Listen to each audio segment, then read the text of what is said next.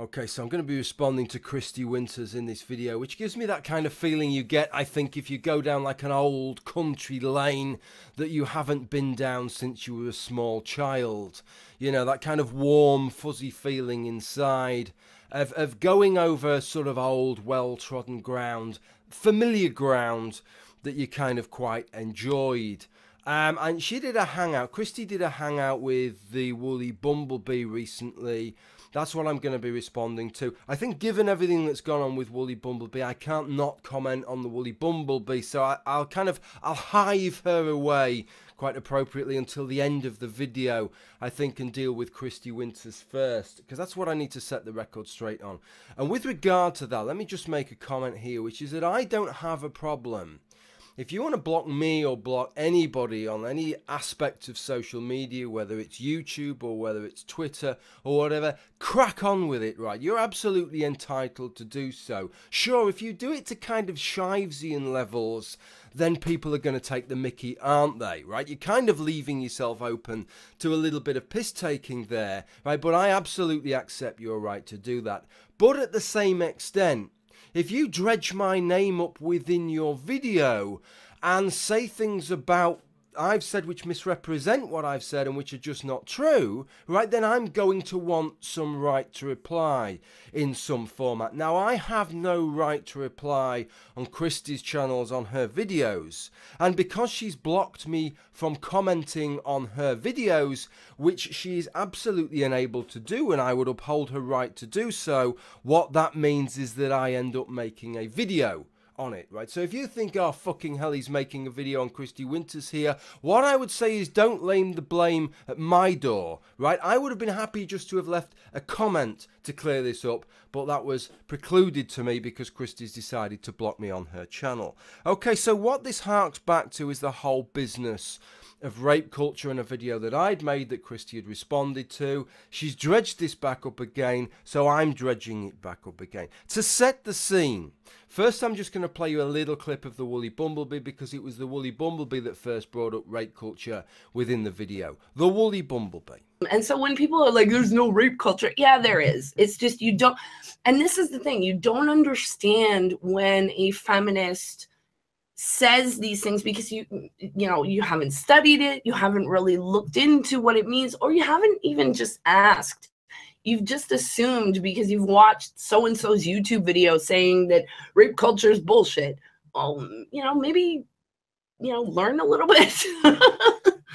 So i didn't really play that clip so i could sort of wade in uh, criticizing what the woolly bumblebee said there. But while i've played you that clip i've got to say that what she says is kind of bollocks there. This suggestion that if you want to know, if you want to know what rape culture, what feminists mean by rape culture, just ask a feminist. It's kind of, it's about as naive as saying if you want to understand the Judeo-Christian perspective and history on an afterlife, just go and ask a Christian. If you go and ask a biblical historian, if you go and ask a Christian theologian worth their beans about the concepts of an afterlife and a resurrection, what they will tell you will be massively different to what the average Christian out there on the street believes and will tell you about the business of heaven and an afterlife and the soul ascending up, right? It's they're absolutely poles apart. And what they are telling you is their opinion. That's all they're telling you. And in many ways, their opinion is about as ignorant as the average person who isn't a Christian.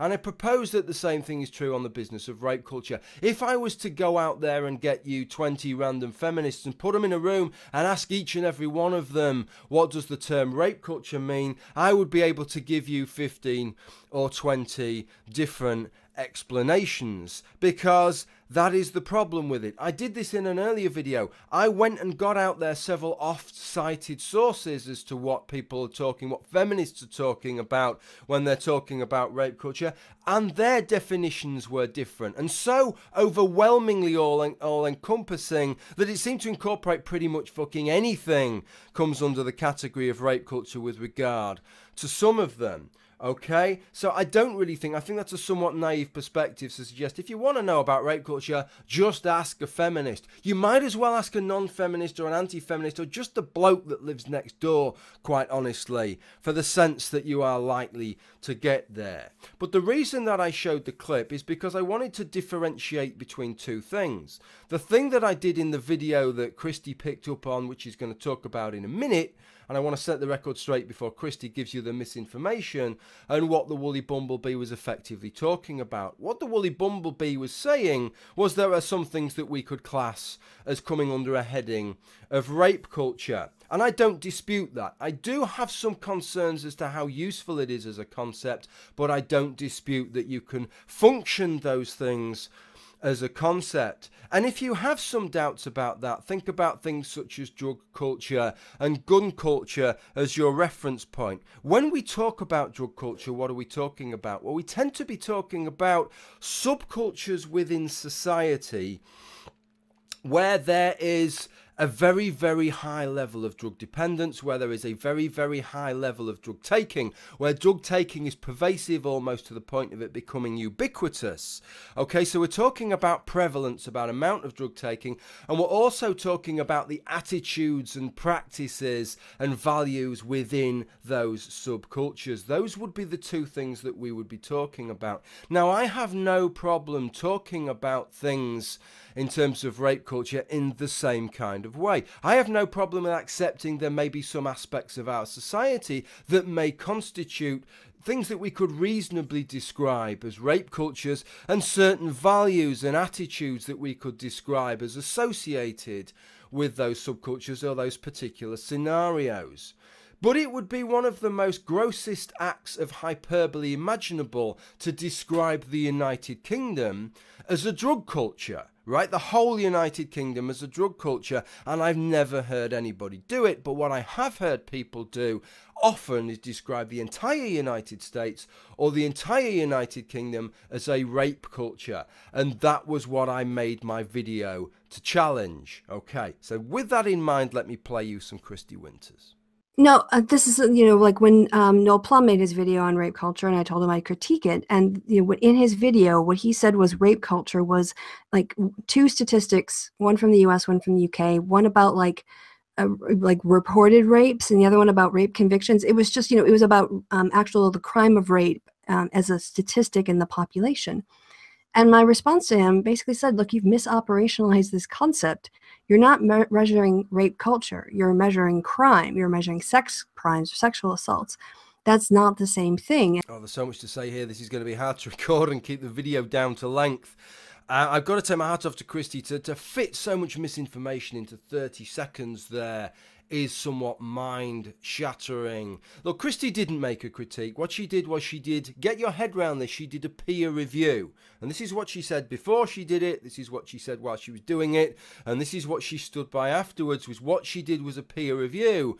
And the peer review took the form of a Google Hangout. Yes, a Google Hangout with two experts. She trumpeted this a few weeks in advance on one of her little hangouts for her Patreons that this is what she was going to be doing and that she was drafting in some experts, that she didn't have the expertise on this field, but she was going to bring in some experts who did.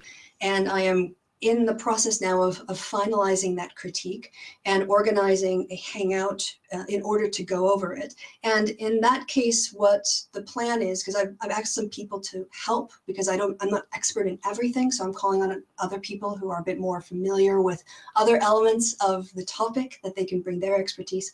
But we're going to kind of just do, I, I'm going to treat it like a peer review almost. You could imagine when I, when I came to watch this hangout, the first thing that I was interested in, what heavyweights from the academic field will she have dragged in for this? Unfortunately, it turned out to be the YouTubers Foxy Jezebel and Demotivator Opinion, who, to his credit, immediately put his hand in the air and said, Kristi, I've got to say I'm not an expert on this subject. So the ex- even one of the experts admitted they weren't an expert. Kristi had said that she wasn't an expert. First of all, he didn't read any of the essential texts or any of the essential articles.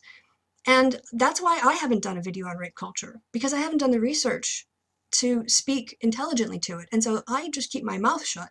And yet, in a series of comments that she left me afterwards, told me that I should just shut up and listen to her because she was the expert. So even she couldn't decide whether her experts are experts or whether she was the expert or whether everybody was an expert or nobody was a fucking expert in regard to this. But the big misrepresentation here is this suggestion that I simply distilled rape culture down to one statistic of prevalence for the United Kingdom and the United States. What I did, whether it was right or wrong, was significantly more sophisticated than that.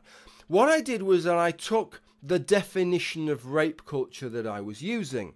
And the definition of rape culture that I was using was the one that is on the Wikipedia website. Now, one of the points that I picked up on at the time, I was very clear with everybody up front in my video that I'd used the Wikipedia definition and I explained why I used the Wikipedia definition. Why? Because one of the advantages of Wikipedia is that they pull their definitions from lots of different places. So in effect it can become a kind of consensus definition which is quite a useful thing to have when you don't want somebody saying, well, that isn't the definition that's generally used, blah, blah, blah. It's about as close as you're going to get.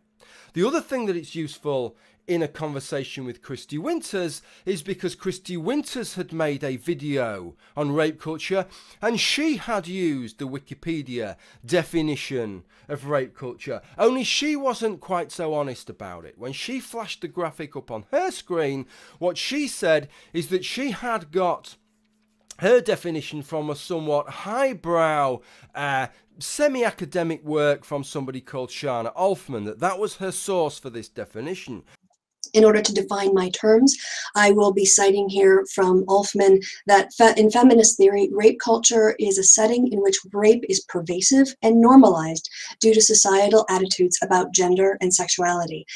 Um, unfortunately, as I showed in, in, in the first part of my two-part response to Kristi Winters, if you actually go to that work by Shana Alfman, you will not find that definition anywhere. The only place on the internet where you will find that definition that Kristi Winters uses is on Wikipedia. It is Wikipedia's bespoke definition. So why had Kristi Winters quoted Shana Alfman? Well, if you look at the references that Wikipedia had used in formulating their definition, the first of them was this work by Shana Alfman. I can only assume that Kristi Winters, who had never read Shana Alfman, assumed that they had taken that uh, definition whole and uncut from Shana Alfman and wanting to make her video sound slightly more authoritative than it actually was, rather than admitting she'd got a definition from Wikipedia, she face palmingly tried to suggest that she'd taken that definition from Shana Alfman. Unfortunately, that was not the case, and that definition appears nowhere in the work of Shana Alfman. I've got to put it to you, right? Is that the kind of person who is a fit person to carry out a peer review? I would say that they are not. That the first thing that you have to do if you're going to carry out a peer review is to at least have standards as high as those people that you are peer reviewing. If I'd done that kind of thing in my video or any work that I'd submitted for peer review, right, it would get pulled to pieces for making those kinds of obvious uh, manipulative misrepresentations in terms of sources and references, and yet Kristi Winters had done that very thing. Now, what is interesting, she criticizes me for using statistics on prevalence, on the amount of rape that is taking place. But bear in mind, I am using the Wikipedia definition, the same definition that she has used what the Wikipedia definition says is that rape culture is a sociological concept used to describe a setting in which rape is pervasive and normalized due to societal attitudes. Okay, so it's about two things it's about pervasiveness and it's about normalization of societal attitudes. So, what I did is I said, okay, let's take an approach to evaluate these cultures and look at how pervasive rape is with regards to that culture versus other cultures, that culture versus the historical record of that culture with regard to societal attitudes relative to other cultures, with regard to societal attitudes now versus the societal attitudes in the past. Okay, one strand of that was the statistics. She is saying that that is irrelevant to rape culture. But if you go and have a look on that Wikipedia page where that definition is from, the first image, every Wikipedia page has a headline image, and that is the image that they have chosen to best represent what is being talked about on that page. If you look at the page on whales, the first picture you will see will be a picture of a fucking whale, right? I guarantee you it, and I haven't even checked. It's the same thing here. So, what is the first image that they've chosen with regard to rape culture? It's an image showing rape rates per 100,000 of the population around the world. It's a picture showing pervasiveness. If you go down the page and go to the origins and usage of the word rape culture, what you will find on that Wikipedia page is it says during the 1970s, second wave feminists had begun to engage in consciousness raising efforts designed to educate the public about the prevalence of rape. Previously, according to Canadian psychology professor Alexandra Rutherford, most Americans assumed that rape, incest, and wife beating rarely happened.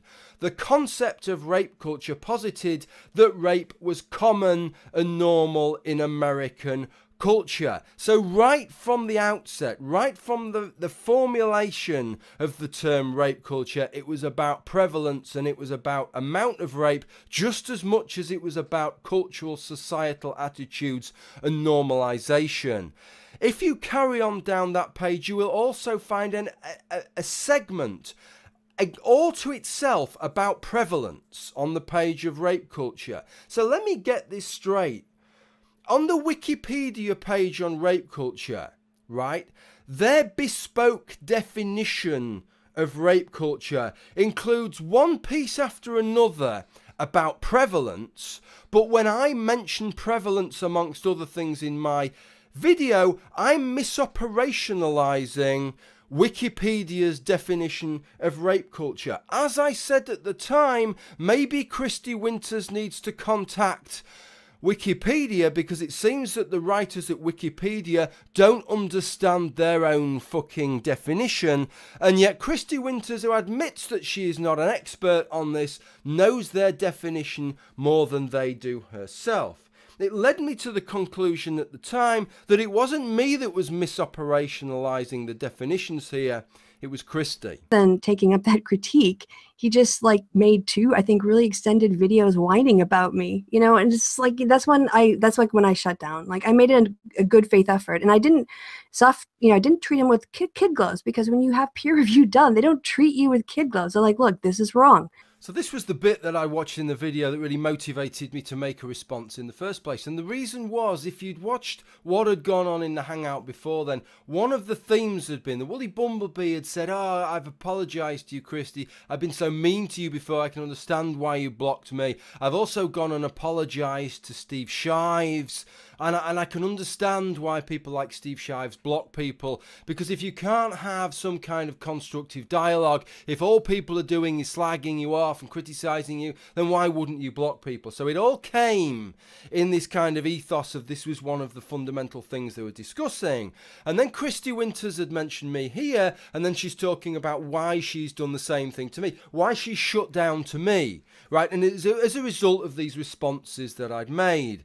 And really, I just just, I just, that almost fucking blew my mind. Now, I know there'll be some of you who are not familiar with everything that went on here and said, well, but hang on, Jim, maybe she's got a point, right? If she's made this video, this peer review video, this hour and 40 minute peer review video, and then as a result of that, you've made two really mean spirited, personal, abusive videos as a result. Why wouldn't she shut down to you? But the problem is, is that that's not what's happened. If that's what had happened, if she had, even if I hadn't made those abusive videos, if she had watched my videos and then shut down to me, right? Then I, that's that's one thing. But what actually happened is something very, very different, which is that although she's telling you what is in these two videos of mine, she never watched either of them. And I know that she never watched them because at the time, one thing that she couldn't stop herself doing was telling as many people as who would listen proudly proclaiming the fact that she wouldn't watch my videos. And even when people were leaving comments saying, I really think you ought to watch these videos because he is tackling the questions that you've asked him. He goes through them, he lists the questions you asked and goes through them one after another. I'd also be interested, of course, to know whether you feel that I have addressed the criticisms that Kristi uh, levelled at me uh, within that hangout. He lists the questions you asked and goes through them one after another. She said, Oh, no, I'm not watching these videos. I haven't the time. Obviously, Kristi values her time a lot more than me, right? It's okay for me to watch an hour and 40 minutes of her hangout about me, but what, there's no way that I can expect her to watch an hour and 20 minutes of response back to her. So the judgment that she's made is based not on the content of my videos, even though she was telling you what the content of those videos was, because she never watched those. To this day, she hasn't watched those fucking videos. So, how does she know what the content of those videos actually is? That's what's mind blowing. They discuss in this hangout about being a skeptic and what it takes to give a good to be a good skeptic. Let me tell you that I watched Kristi's hangout and then I, I, I made a couple of comments to her and she said, just so there's no there's no uh, misunderstanding here, let me list you right the problems that I had with your video. And she listed about a dozen things. So I actually used that list within the second part of my video response to make sure that I didn't miss out anything and I actually conceded a couple of, there was a couple of them I said, you know what,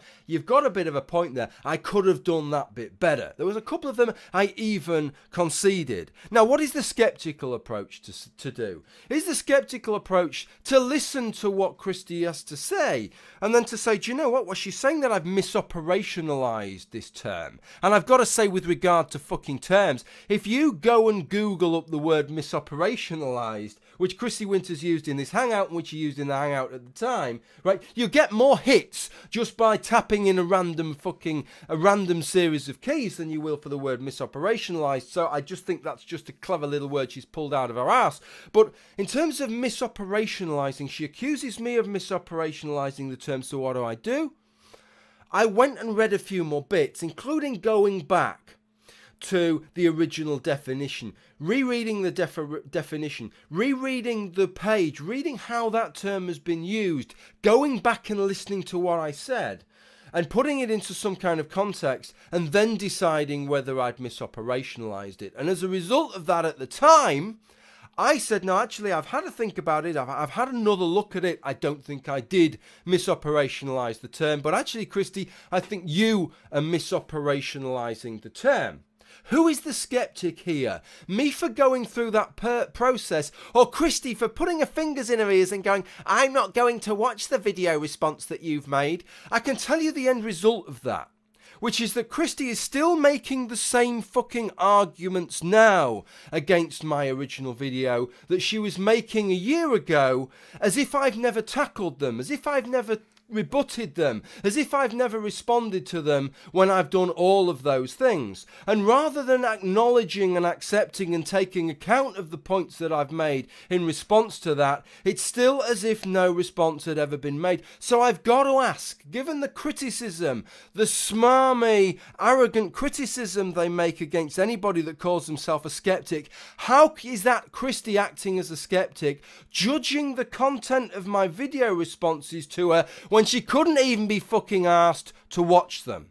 I mean, they're just going to tell you what you need to do to come up to the expected standard and not whine about it. So, yeah, um, we have to have the right when you when you say it doesn't exist then you have to then be able to explain what we're observing with police departments that don't take it seriously the backed up uh, rape kits the fact that a lot of these rapists you know get off um, quite lightly that judges are you know blaming the victim and praising the perpetrators here how do you account for that what would you call that so this is the last point I'll make before I move on to just some quick comments on the Woolly Bumblebee situation. But this was the exact same shitty stunt that she pulled in her peer review hangout again and again and again. Recall that my video was about whether the United Kingdom and the United States were best described as rape cultures. And she's done the same thing again. She's just mentioned me. All she's been talking about me and is a critique of me. And then she said, if you're going to go around saying that rape culture doesn't exist, I never said that. Right? What I said was that the United Kingdom and the United States are not best described as rape cultures, and then I went to evidence why I'd arrived at that conclusion. I never said that things that could be described as rape culture do not exist. But notice how she twisted it. This was exactly the same thing she did again and again and again in her original Hangout. It was as if I'd made a, a video saying there is nothing that can be described as rape culture. That was the mistake that she made in her original Hangout, and even people that would normally side with her agreed with me on that point she's still making the same argument again, probably because she never watched my response. Maybe you can understand how frustrating that is that somebody would keep doing that. Look, if you want to have a bit of a fucking facepalm style laugh, all the videos in this sequence I think are quite interesting videos from my original Do We Live in a Rape Culture videos through to the Hangout, although I only watched the first half hour because it becomes dreary after that, to my responses to that. But the one that I'd have you watch, right, if you've got a few minutes to spare, because remember, she didn't watch my responses but what she did do is make a video responses to comments from Noel Plum's response, in which rather than watching my video responses and responding to it,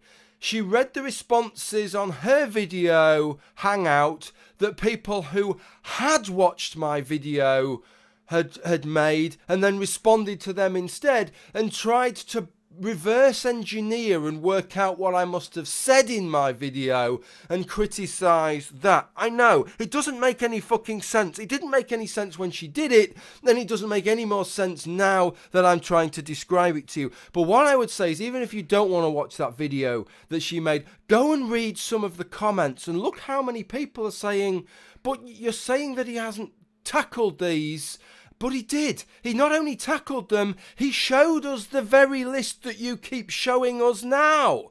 You know, what's it's as if she's having some kind of fucking mental meltdown at that particular point. It's a really insightful thing to read some of the comments that are left and, and the, the weird copy and paste responses that she made there. Okay, I'm drawing a line under that for now until she mentions it again and doesn't give me a chance to respond in her comments, and then it'll probably come up again in another 12 months.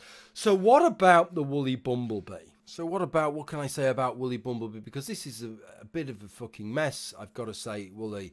Um, I, I I know Woolly back from no, in a very loose sense of the word. Know of Woolly Bumblebee back since I I don't know. I suppose the Atheism Plus Free Thought blogs shit and and then the, the forum that resulted from that in opposition to free thought blogs the slime pit although i didn't used to post on that i used to read on that. She was a figure with regard to all of that and in opposition to free thought blogs and then started to do more and more material on youtube and she had her certain perspectives and she always had a certain sort of free-minded approach to things and wouldn't necessarily toe the party line which i respected and i have no problem with people altering their position. It is healthy for people to be able to alter their positions but i always get a little bit concerned when somebody who's over the age of about 14 or 15 utterly alters their position and, and, and just seemingly goes totally from one side to totally the other. I've seen it on YouTube before. It happened with a guy called Rithran Dil who changed his name, online name to Unseen Perfidy before exploding in a kind of sex scandal. And he went from being a really obnoxious cunt right winger to being an equally really obnoxious cunt left winger. The only thing that was sort of common was his obnoxious cuntishness throughout all of that. His politics just changed absolutely diametrically. Um, and Another example would, of course, be Brett Keane, who prior to YouTube starting was, I believe, quite a committed fundamentalist Christian and then suddenly found atheism. And he was like one of the original YouTube atheists and droned on and on and on about why Christianity was such a load of shit and made argument after argument after argument about why Christianity was such a load of shit and why Christians were such a load of wankers. And then all of a sudden decided actually that's not true and Christianity is true and I'm going to be a Christian again. And this is why Christianity is the best thing since sliced bread and why atheists are such a load of absolute wankers. And I, I I absolutely accept people's right to do that, but it's hard for me to take people seriously when they do that. And I felt the same about the Woolly Bumblebee, that seemingly she's kind of switched position, and I accept her right to do that, but it, it makes her the kind of person that I particularly wouldn't look to engage with, because it seems as if their foundations are built upon sand. But then when I'm watching this video, here. And I'm tying this video into responses that she's made to Bearing and Sargon of Akkad, people that she sided with, and particularly a criticised a critical video she'd made against Sargon of Akkad a few months ago. Well, I'd watched the video of Sargon's that she'd responded to, and I'd found fault with it. And I'm watching Woolly Bumblebee's video, and she's picking on some of the things that I'd picked up, but also picking on lots of other things. The most petty, ridiculous, stupid non-points that didn't make any sense, as if simply she wanted to find fault with every single word that Sargon had said throughout the entire video. And I thought this is this is tribalism here. She's saying it isn't, and she's saying she's made a video that's kind of anti-tribalistic, and look how free I am is that I'll have a go at anybody. But actually, she's she's taking all the bad things that you would take from that tribalistic approach and now just aiming it at a different argument, but it's still the same bad things. And I feel as if her change of heart isn't a genuine change of heart, she's just found a new group of friends. And she's apologised to Kristi Winters for being so mean to her. Apologised to Steve Shives, apparently, for being so mean to him. And what concerns me is that she says in the video that actually all these things, right, all these things that she's been saying about the wage gap and patriarchy theory and all these things, actually she's not had a change of heart. Actually, she knew all along. She's trained in social studies, right, in, uh, um, in social care, and that she learnt about all these things and she understood them and that effectively all the arguments she's been making all these time she was just doing for the social cachet. And yet she always she never believed what she was saying effectively. This is what i'm getting from this hangout is that she's saying she never believed what she's saying. But now now we can trust her. Now this is the real woolly bumblebee. Well i've got to say woolly maybe it is. And if it is great. But the hardest thing to earn on YouTube is not an audience, it's a reputation. And it's a reputation for being honest and for being trustworthy. Because there are so many shysters out there, so many people who are just full of bullshit and deception. That is the hardest thing to earn, and that is the easiest thing to lose. And when you tell me that the arguments that you've been making for the last few years, your heart wasn't in them, you felt that the arguments that you were trotting out, of your own volition, nobody was making you do it, were wrong. They were misguided, they were miscentered, and you didn't really believe them.